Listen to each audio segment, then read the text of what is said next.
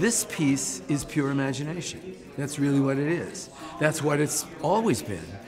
I find this story so fascinating and so affecting. And these kids, very different, one from the other, but they all have that spark. And watching them grow and watching the story happen through their eyes is renewing for us. It really is.